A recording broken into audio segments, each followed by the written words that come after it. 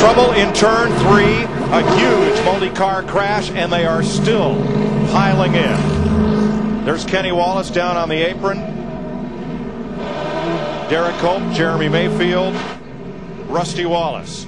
Among those involved, Rusty getting a push from Terry Labonte. Man, look at Kurt's car. Trying to get out of the grass there. Kurt Busch's car is well wrecked, and we are under caution. There is Scott Riggs. The rookie had a great qualifying effort. He started fifth today, and on lap 84. Oh, Kasey Kahne. I mean, guys, I see a lot of our guys top 10 in points, like Kurt Busch came in here second points. And the word is that thus far, everybody is okay. And we talk a lot about the big one, and we've just had it, but Daryl, since NASCAR took a proactive stance on driver safety in 2001, we've not had a serious injury in the big one. What triggers Let's see, this? let's see what happened over here. Yikes.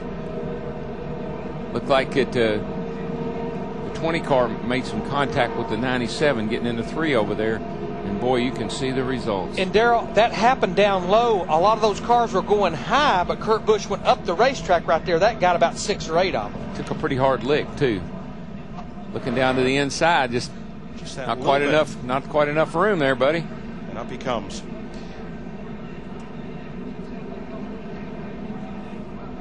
There's Riggs getting tipped down to the apron, and, and everybody just swallowed up as those 33 degree bankings clean themselves of cars. They slide down into those who were trying to take evasive. Saw Kenny Wallace in the double zero car hit that outside wall very hard. Remember, they just installed the safer barriers. And just remember, what goes up has to come down. And they go up, hit the wall, and then down the hill they come. Riding with Jeff Gordon, it all happens behind him. What's that? Yeah, the 97 just gets turned, man. Rusty Wallace.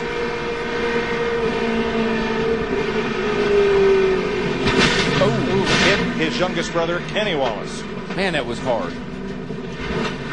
And they're still piling in. That's Kasey Kahne who just piled in. Let's ride with Kasey Kahne. It's Derrike Cope just ahead.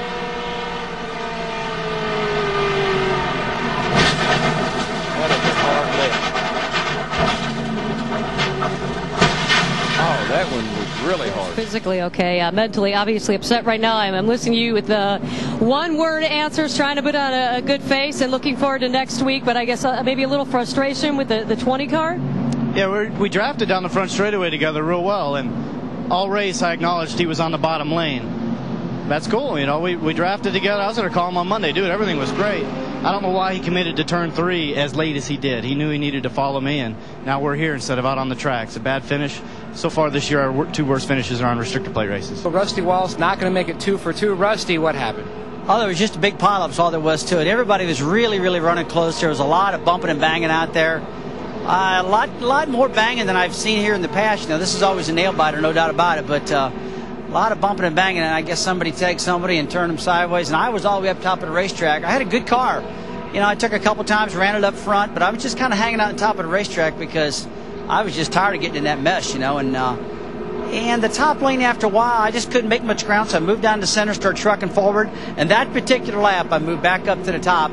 And when the wreck happened, I was three wide couldn't get back down. How different the racing compared to Daytona with this same package? Oh, the racing is much, much different here. At Daytona, the cars get away from each other. You know, the, the, the tires wear, uh, handling really gets into it. But everybody's cars are handling here, and they're all on top of each other, to bumper to bumper. But man, I just couldn't believe how uh, forceful everybody was getting. There was a lot of people running into each other. There's cars running really, really good. They'd come by me, and their right sides are tore off, noses are tore off, and they're still bashing into people. But uh, it's an exciting race for the fans. But I'll tell you what, for a driver, it's not too much fun out there, I tell you that. And I hate that our cars tore up. Although we're able to drive it to the garage, they're getting the left front fender on it now. We're going to get back out and get some points. You're okay, but boy, a very scary and frustrating incident. Yeah, just uh, I don't know. It's, it happens here. Uh, it's too bad because we had a, you know, our Dodge dealers, UAW Dodgers, was a good car. We were right in the middle of the pack all day, and it sounds like Stewart started it all, and uh, he started a lot of things this year. So I guess Your uh, mentor. I don't know. I don't know about that. Frustration, I guess, with the 20 car as well. Oh, you know, I'm sure. I, I didn't watch Kurt Busch's interview, but I'm sure he probably spoke for us all. You know, uh, Tony Stewart's a very good friend of mine.